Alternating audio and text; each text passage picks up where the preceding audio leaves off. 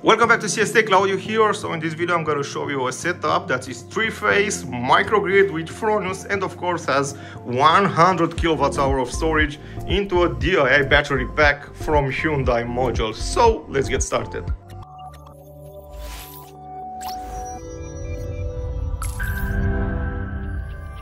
Nice to have you back at CST Claudiu here. So let me explain you about this new setup. Basically I'm going to start with the inverters because we are living in Europe we have three-phase systems, so we installed three inverters from Victron, each one for one phase, and of course they are configured into a three-phase system.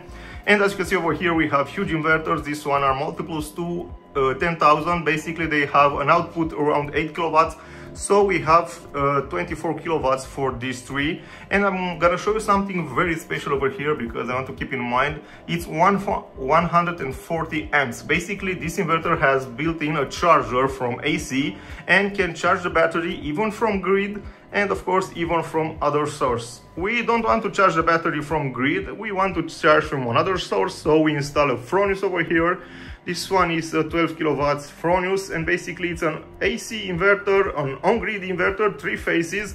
And as you know, when the grid is down, this inverter also will be down. In order to prevent that, we made a microgrid connection, so we connect the Fronius on the output of the Victron. And of course, when the grid is down, Victron will generate the grid and Fronius will stay on and act as a normal inverter. He will, will not know the grid is down because this house has has huge consumption and we need more power we add some separate MPPTs as you can see over here we add a 450 uh, MPPT arrays from Victron and as you can see has 200 amps output power. And into the bottom, we add another two small inverter from Victron, uh, MPPT from Victron, sorry. This one has 250 PV, uh, volts PV in, and of course around 100 amps. So we have 100, 200, 400 amps only from MPPTs, and of course the rest of the power will come from this Fronius. Let me show you the distribution box and the control unit. And as you can see over here for control unit, we have an Ekrano from Victron. This one manages the Victron and also can manage the Fronius. So everything is connected over here. You can see the Fronius on the bottom and of course all the MPPTs from Victron. And the batteries are fully charged around 98%. As you can see, we feed energy to the grid because the battery are fully charged. And of course the home, home consumption is uh, already filled. Now onto the back end, we have the connection cable from Ekrano. This one go to MPPTs, go to BMSs, go to uh, Fronius, and everything is connected over here. And let me show you the AC distribution box. Basically, it's very, very simple, but let me explain in a few words. So we have a master switch. This one allows us to switch between solar and grid. Basically when something happened with our solar where uh, and i don't know we need to make the maintenance or something we just switch to the grid and of course this one will bypass the entire solar system and the entire house will be connected to the grid. So we select a manual one because if something happened we want to switch manually. We don't want to move automatically because we don't want Now, let's talk about Fronius switch. As you can see over here, we have the protection for from Fronius, and we also add the switch. This one has also three position, uh, give us possibility to move Fronius on AC out. So basically, when the switch is uh, in this position, the Fronius is into a microgrid connection. And if we move this switch down, the Fronius will become an on-grid inverter. So when the grid will be down, also the Fronius will be down. Basically, we have protection, input Victron, output Victron, and of course we have some distribution blocks over here in order to uh, switch all these uh, energy fluxes.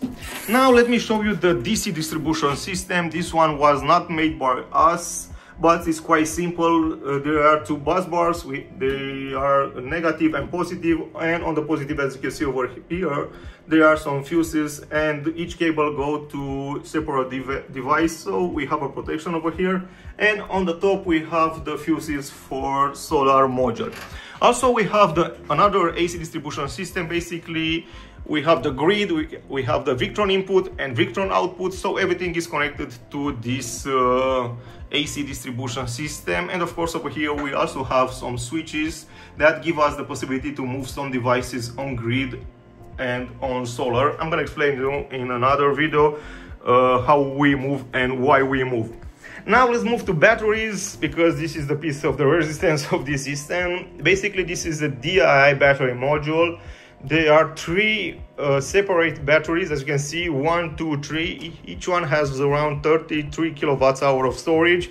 They have a BMS from Seplos. As you can see, this is a master, and of course, uh, that one are slave. So they are communicate together, and the entire capacity is connected to Victron. So here are battery from electric car from Hyundai Kona. Let me show you how battery look inside because we removed the case in order to show you so we have 30 kilowatts hour and of course we have here a system that will manage the entire battery. So what do, what do you think about this system that has 40 kilowatts hour in PV panel, 100 kilowatts hour in storage, and of course a huge amount of inverter power from these devices connected together from Fronius and Victron.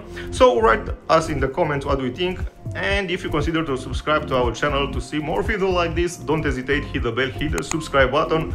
And sorry for my English, I'm not a native English speaker, so I try my best to explain all this technical stuff in English. I'm Claudiu from the CS Tech and see you in the next one. Bye.